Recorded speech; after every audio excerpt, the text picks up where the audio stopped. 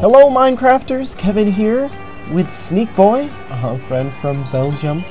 And uh, we obviously here we've made a tic-tac-toe machine, a very cool one. Uh, it uses very unique circuitry, so let me show you by resetting it with that button.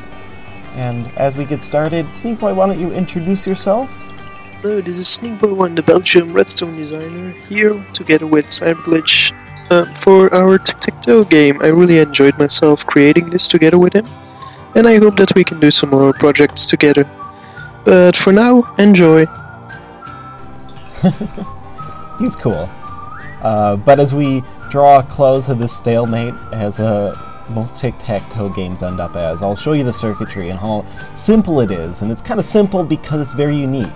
There's a lot of problems you run into with a tic-tac-toe machine. Here you can see we have 18 buttons to send a signal down for and organize and figure out what does what, which displays on the screen, and how to reset everything.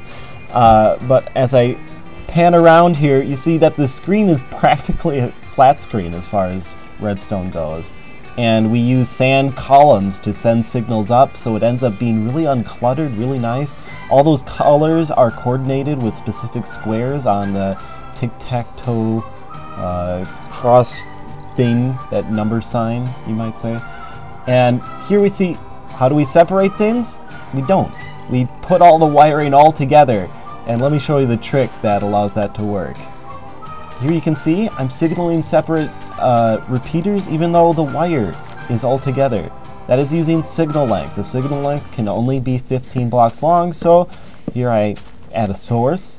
You can see that it only reaches the right side, not the left side. And that's exactly what's working there. And so when I try to use two turns, like here I cheat and I try to press another button, it doesn't work. We have a safeguard to make sure of that. Now the indicators that indicate the turn sometimes don't work. That, as you can see here, that torch should be on. This server sometimes doesn't have its redstone torches work. We don't know why, but it's annoying. I wonder if anyone else has the same problem. Anyway, here's the system that allows that uh, control. You have all the signals combined. For that input, the length is shortened using that piston for the signal, and it fires off all these pistons. And these pistons control a slide. You see, there's your nine inputs trying to come through.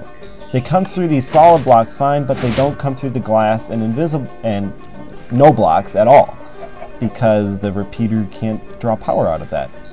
And simultaneously, when you push that slide over, you expose solid blocks in front of the wire uh, for the X side or the O side. It switches back and forth. So then you can see that power supply then leads from the slide as well to indicate which turn it is. Alright, here's how the screen works. This is a slightly smaller version of it, uh, but basically you have things pushed against the glass to make them dark to give the two-tone display. This does not work in 1.2. We have another fix that's in the works. Uh, but you have a power source that goes through solid blocks, but not glass. As you can see here, once it hits the glass, it doesn't get to the next repeater, and it doesn't signal that torch, which turns on or off the pistons. And when these slides, as I like to call them, the black parts are down, it signals the screen. But when they are up, they don't. So this bottom line of redstone becomes the reset line. And once you signal, that turns everything blank.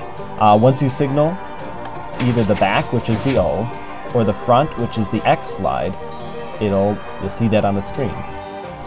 So now we just need to signal each of the squares, and here we see those are the colors that coordinate with each of the wires. Here we have blue, pink, and orange, and as you can see, all you have to do is signal them over, have them feed into the pistons, which put the sand up, the sand gets powered, which si signals the next piston, uh, or if it doesn't, depending on what height you want it to signal to, and everything works. Ta-da! Uh, I could I have another video here I'm linking to that shows the full circuitry under there and how that seemingly jumble isn't really too bad. It's just a lot of inputs, 18 inputs you're signaling those nine squares with. So it's got to have something there. Uh, anyway, we have a future videos planned, future projects. Uh, but if anyone else wants to do a co collaboration, I love doing these. It's fun. I'll see you around.